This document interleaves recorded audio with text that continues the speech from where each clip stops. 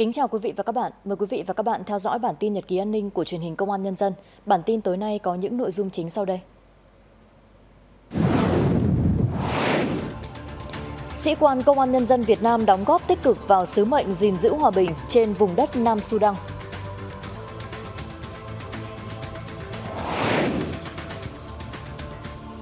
Công an xã Iammer, huyện Chư Prong, tỉnh Gia Lai xây dựng thế trận an ninh nhân dân vững chắc nơi phên dậu Tổ quốc.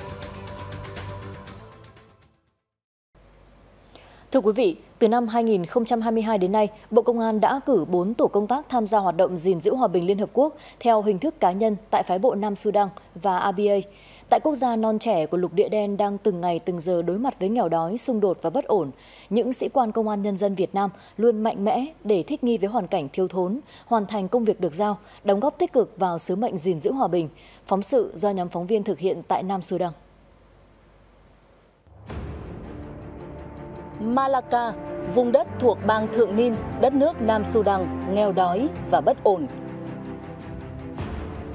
Nơi duy nhất trên thế giới có trại bảo vệ dân thường do Liên Hợp Quốc thành lập và chịu trách nhiệm bảo đảm an ninh an toàn cho gần 40.000 người tị nạn. Các sĩ quan Công an Nhân dân Việt Nam đã có mặt tại đây, góp phần bảo vệ người dân. Không chỉ ở Malacan xa xôi, mà ở ngay thủ đô Juba cũng có các trại bảo vệ thường dân.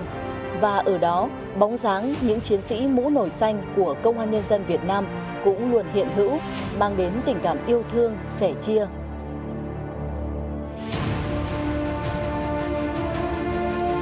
Những cái ôm ấm áp dành cho những người phụ nữ kém may mắn, họ là nạn nhân và là những người yếu thế ở một đất nước có xung đột như Nam Sudan chúng tôi đã tài trợ cho được 52 trường hợp uh, nạn nhân ở tại uh, trại lánh nạn số 3. Họ là những người yếu thế. Khi mà chúng tôi ôm nhau như này, tôi cũng không có một cái tôi không có bất cứ một cảm giác nào là sự xa cách cả, giống như là sự đồng cảm giữa phụ nữ với nhau trong cuộc sống. Trung tâm trẻ mồ côi tại thủ đô Juba, Cộng hòa Nam Sudan. Nơi đây hiện có 166 trẻ em và thanh thiếu niên trong đó 70% là trẻ mồ côi, 30% là trẻ em từ các gia đình nghèo không có khả năng chăm sóc. Trong khi số trẻ vẫn tăng lên hàng ngày, thì trung tâm vẫn đang phải đối mặt với nhiều khó khăn như không có đủ lương thực, nước sinh hoạt, không có điện.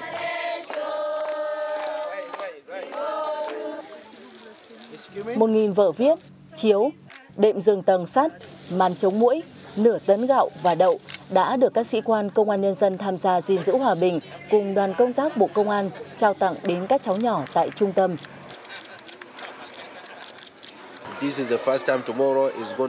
Đây là lần đầu tiên có một đơn vị chính thức đến hỗ trợ chúng tôi. Chúng tôi biết rằng sự hỗ trợ này sẽ giúp ích cho chúng tôi. Khi hôm nay chúng tôi đã thấy những cuốn sách, những cây bút chì, bút mực. Điều này có nghĩa là các bạn muốn tất cả những trẻ em ở đây đều được nhận chúng và trở thành những người có trí thức.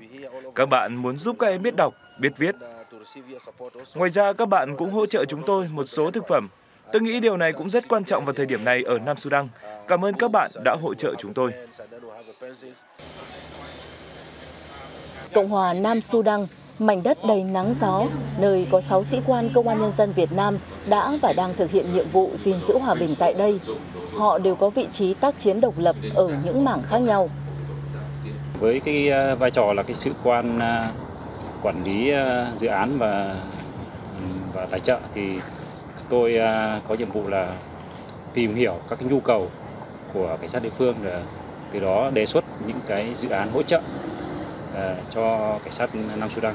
Khi mà triển khai hoạt động tại phái bộ thì bản thân tổ công tác cũng như cá nhân tôi cũng đặt ra nhiều nhiệm vụ, tức là ngoài nhiệm vụ công tác chuyên môn thì công tác công tác tiếp theo là tham gia các hoạt động để nhằm quảng bá hình ảnh uh, sự tính sáng tạo và sự chuyên nghiệp của cảnh sát Việt Nam uh, có thể thực hiện nhiệm vụ ở nhiều các khía cạnh lĩnh vực khác nhau. Qua uh, một năm rưỡi từ khi nhóm đầu tiên sang đã uh, nhanh chóng chiếm lĩnh các cái vị trí công tác rất là chủ chốt rất là quan trọng vừa có những đóng góp quan trọng uh, đã được lãnh đạo cảnh sát lãnh đạo phái bộ đánh giá cao. We have six individual police officers Hiện nay chúng tôi có 6 sĩ quan cảnh sát Việt Nam triển khai công tác tại nhiều vị trí của phái bộ. Họ không chỉ công tác tại các đơn vị của sở chỉ huy phái bộ, mà còn triển khai tại các văn phòng cảnh sát địa bàn. Các sĩ quan này đã thực hiện nhiệm vụ rất xuất sắc. Chúng tôi cảm ơn Việt Nam đã cử các sĩ quan cảnh sát đến làm việc tại phái bộ. Họ đã thực hiện nhiệm vụ một cách xuất sắc, công hiến hết mình đối với công tác nâng cao năng lực cho cảnh sát địa phương, góp phần đưa phái bộ thành một phái bộ năng động, đa văn hóa.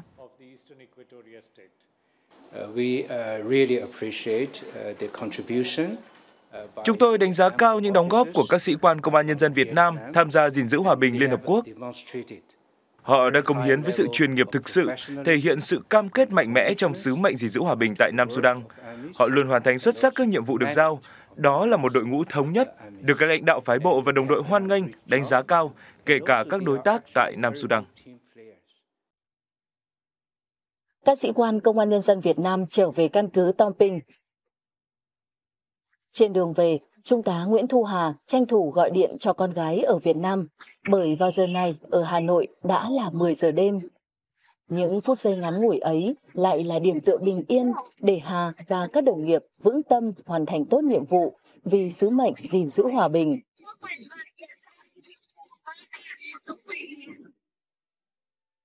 Và món quà ấm áp mà họ nhận lại là những ánh mắt thân thương, nụ cười chiều mến của người dân Nam Sudan khi nhắc đến hai chữ Việt Nam.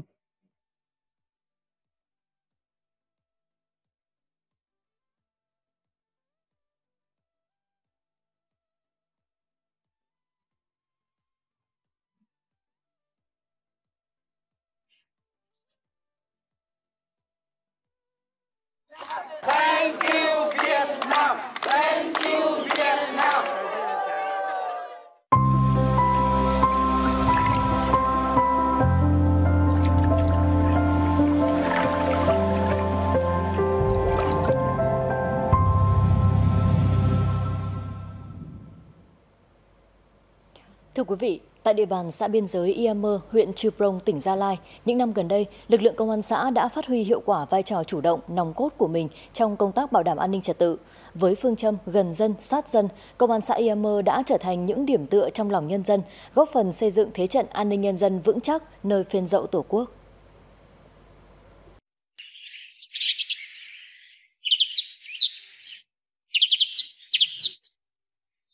Những ngày nắng nóng, để phòng ngừa xảy ra cháy nổ, với đặc thù kiến trúc của người dân nơi đây sử dụng gỗ để làm nhà, Công an xã Iamơ, huyện Chư Prong, tỉnh Gia Lai đã đến từng nhà người dân, tuyên truyền, vận động đồng bào nhân dân cẩn trọng, tuân thủ các quy định về phòng cháy chữa cháy.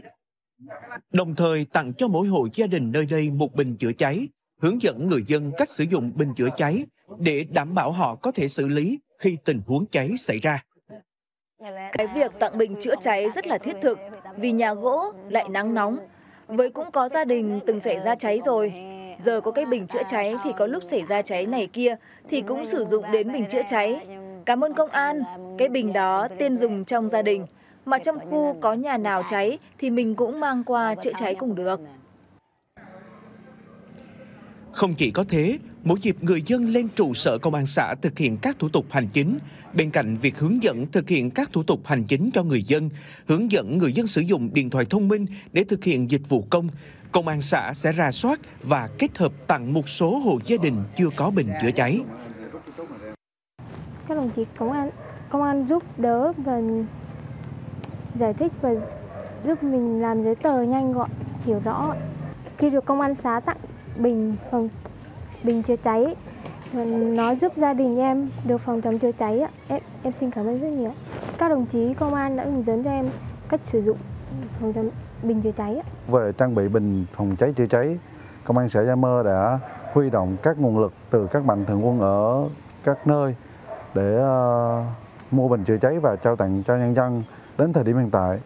về việc trang bị bình chữa cháy cho công an dân trên địa bàn công an xã Gia Mơ đã thực hiện được khoảng 46%. Bên cạnh đó, trong mỗi buổi giao ban hàng tuần, lực lượng công an xã Iammer đều nhắc nhở các cán bộ chiến sĩ tiếp tục bám sát, vận động quần chúng nhân dân, không chỉ về công tác phòng cháy chữa cháy tại nhà, mà còn là đề phòng, ngăn chặn các nguy cơ xảy ra cháy rừng cùng với đó là nhiều nội dung khác trong công tác bảo đảm an ninh trật tự tại địa bàn. Bằng cái phương thức sát dân gần dân và tìm hiểu những cái tâm tư nguyện vọng cũng như là những cái thiếu những cái vật dụng mà người dân thiếu để công gia công an vận động các uh, mạnh quân trên địa bàn mua các uh, như là quần áo này, sách vở này, tập viết này hỗ trợ cho con em trong cái uh, đầu năm học. Và qua cái việc mà hỗ trợ đó thì công an sẽ phát động phong trào toàn dân bảo vệ an ninh tổ quốc, giao nộp vũ khí vật liệu nổ công cụ hỗ trợ. Thì tại thời điểm phát động, công an xã đã thu được khoảng hơn 30 khẩu súng tự chế của người dân. Và qua cái việc thu giữ các vũ khí vật liệu nổ công cụ hỗ trợ đấy thì công an xã đã tăng cường cái công tác tuyên truyền để người dân nhận thức được cái việc trang bị vũ khí vật liệu nổ công cụ hỗ trợ là sai là vi phạm pháp luật. Từ đó giúp người dân nhận thức rõ. Làm tốt công tác tham mưu, phát huy vai trò chủ động trong công tác phòng ngừa, lực lượng công an xã đã phối hợp với lực lượng bộ đội biên phòng thường xuyên tuần tra. Những bước chân không mỏi tới những địa bàn vùng sâu, xa nhất, để địa bàn được bình yên, tuyến biên giới vững chắc.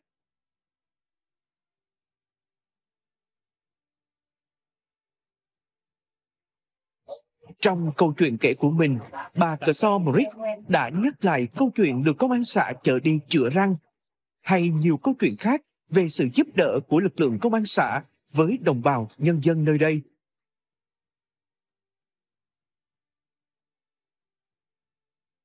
Với tinh thần tận tụy, phục vụ và gắn bó, thế trận an ninh nhân dân được củng cố, thêm vững chắc từ những việc làm nhỏ. À, tuyên truyền vận động à, của người dân cũng như là tạo dựng ừ, cơ sở dưới nhân dân và xây dựng mối đại đoàn kết trong nhân dân và trong lực lượng là rất là tốt và trong cái thời gian vừa qua là các đồng chí công an xã là làm tốt cái vai trò trách nhiệm của mình và tạo được niềm tin trong à, quần chúng nhân dân cũng như là à, tạo được à, cái sự tin tưởng của cấp ủy chính quyền trong thời gian vừa qua. Đối với cái thông tin của từ bà con nhân dân để mà nhận định về cái lực lượng công an của xã Gia Mơ thì trong cái thời gian vừa qua là bà con đánh giá rất là tốt về cái công tác là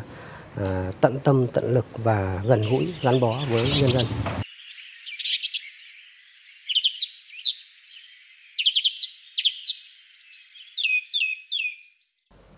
Tin an ninh trật tự, Công an tỉnh Thừa Thiên Huế vừa tiến hành khởi tố vụ án khởi tố bị can, khám xét nơi ở của ba bị can, bắt tạm giam hai đối tượng Nguyễn Văn Đức, nguyên giám đốc CDC Huế, Trần Thị Kim Sinh, nguyên phó phụ trách khoa dược CDC Huế, cấm đi khỏi nơi cư trú đối với Lê Nguyễn Thi Loan, nhân viên thu phí CDC Huế về hành vi lợi dụng chức vụ quyền hạn trong khi thi hành công vụ. Lợi dụng chức vụ quyền hạn được giao từ tháng 6 năm 2020 đến tháng 12 năm 2021, các đối tượng Đức, Sinh và Loan đã không thực hiện đúng quy định về mua vaccine, không hạch toán phí tiêm chủng theo quy định để chiếm đoạt hơn 1,1 tỷ đồng. Hiện Phòng Cảnh sát điều tra tội phạm về tham nhũng kinh tế buôn lậu môi trường Công an tỉnh Thừa Thiên Huế đang tiếp tục củng cố hồ sơ, xử lý các đối tượng theo đúng quy định của pháp luật. Liên quan đến vụ việc nhiều phương tiện ô tô bị đập vỡ cửa kính tại khu đô thị Văn Quán, quận Hà Đông, thành phố Hà Nội vào đêm 16 dạng sáng ngày 17 tháng 6, sau 5 ngày xảy ra vụ việc, Công an quận Hà Đông phối hợp với Phòng Cảnh sát Hình sự đã bắt giữ được thủ phạm.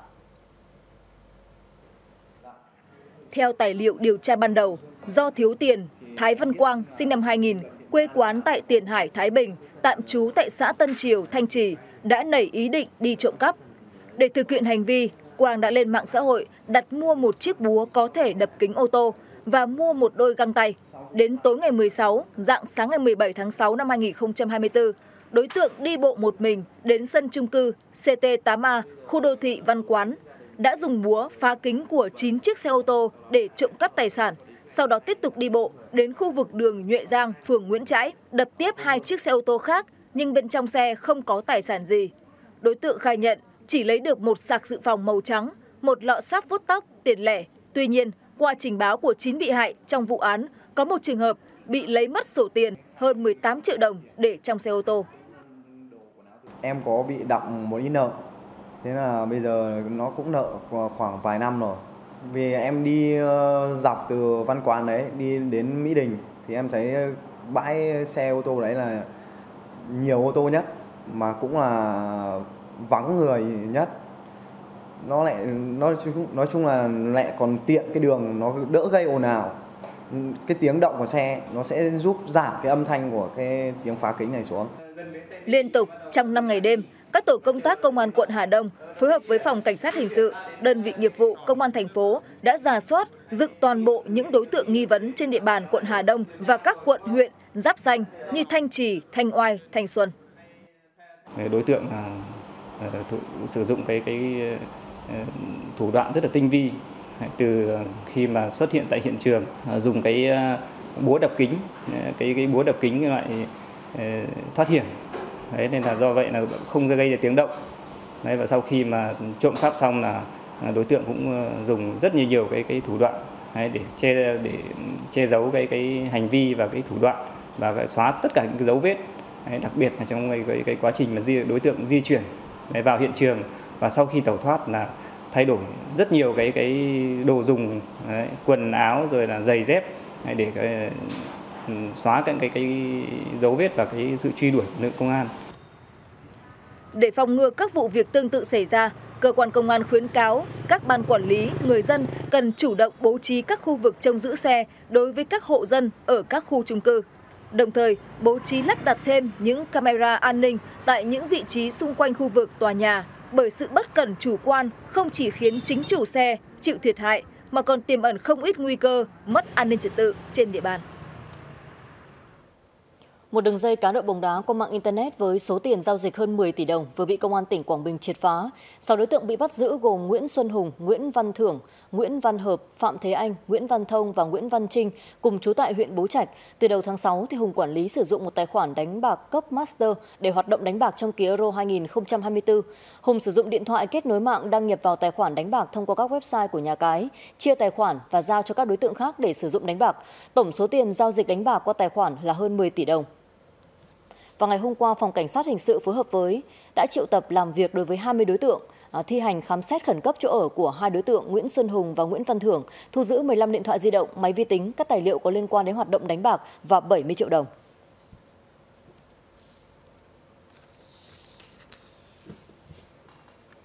Thưa quý vị, Bộ Công an mới đây đã đưa ra cảnh báo đến người dân về tệ nạn cá độ bóng đá trong mùa giải Euro 2024. Cá độ bóng đá là hình thức cờ bạc đã tồn tại từ lâu. Trong giai đoạn hiện nay, lợi dụng triệt để không gian mạng, hình thức và thủ đoạn của các đối tượng ngày một tinh vi hơn. Tuy nhiên, lực lượng công an khẳng định cá độ bóng đá trên mạng dù có che giấu như thế nào cũng sẽ đều để lại dấu vết. Đồng thời, Bộ Công an cũng tiếp tục đưa ra cảnh báo với người dân về những hệ lụy nguy hiểm của tệ nạn này.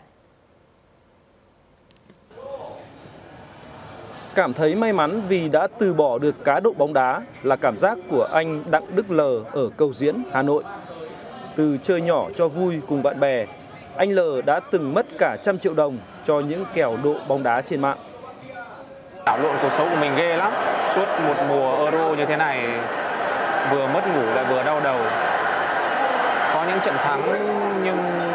không ăn thua. Thắng một trận rồi lại thua 5 6 trận đấy mà. Tưởng là dễ ăn đấy nhưng mà thực ra là thua rất nhiều. Giải trí, xem bóng đá là nhu cầu chính đáng của mọi người, nhưng trong quá trình xem cũng rất dễ sa ngã vào con đường cá độ. Bởi hiện nay, các hình thức cá độ online đang tìm rất nhiều cách tiếp cận với người xem bóng đá trực tuyến, không xem qua TV thông thường. Và hầu hết các cái trang à, khi mà tiền kết quả tìm kiếm trên những cái trang web à, lớn ấy, thì nó ra rất là nhiều cái trang mà chúng ta có thể vào tham gia cá cược được. Ngay cả việc mà gửi tiền để có thể là là là tham gia vào chương trình cá cược thì rất là tiện chỉ cần là chuyển khoản cho một à, cái tài khoản nhất định là có thể là trong tài khoản của mình ở trên trang cá cược đấy là có thể có ngay và tham gia cá cược thì cũng chỉ mất có độ khoảng đâu đó một hai phút thôi. Lực lượng công an cho biết dù liên tục sử dụng các biện pháp kỹ thuật để ngăn chặn các đường link phát tán website cá độ bóng đá trực tuyến, nhưng các đối tượng vẫn liên tục tìm cách lập ra những đường link mới nhằm đối phó. Tuy nhiên, những hành vi cá độ sẽ đều được lưu vết trên không gian mạng. Nghĩ là cái lực lượng chức năng khó coi như kiểm soát, phát hiện và xử lý, nhưng mà chúng tôi luôn luôn có những biện pháp giải pháp phù hợp, luôn luôn đi trước đón đầu, nhận diện tội phạm mà sử dụng cái bản biện pháp nghiệp vụ phù hợp, chủ động ờ, như là phát hiện và đấu tranh xử lý các ổ nhóm đường dây hoạt động không gian mạng để thực hiện các cái hành vi tội phạm và vi phạm liên pháp luật liên quan đến đến cờ bạc. Do đó rất nhiều những cái đường dây tội phạm tưởng rằng là các cái thủ đoạn rất tinh vi che giấu um,